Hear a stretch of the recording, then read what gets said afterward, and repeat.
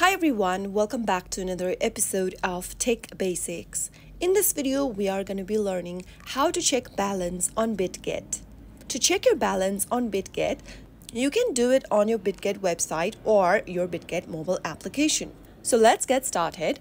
First of all, open up your BitGet app or log into BitGet website and log into your account as well. After you're signed into your BitGet account, from the first home page, tap on the Assets button at the bottom right hand corner.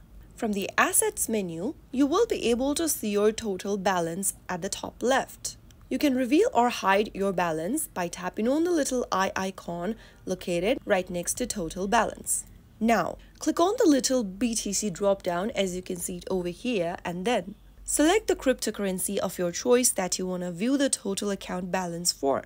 After choosing one of your cryptocurrencies, you can then see the balance under total balance at the top left. So that is how you can easily check your balance on BitGet. If you found the video to be helpful, go ahead and give us a thumbs up. Don't forget to subscribe to our channel by hitting the subscribe button. Press the bell icon so that you'll never miss another upcoming upload from us. I will be back again in the next video. Thank you for watching.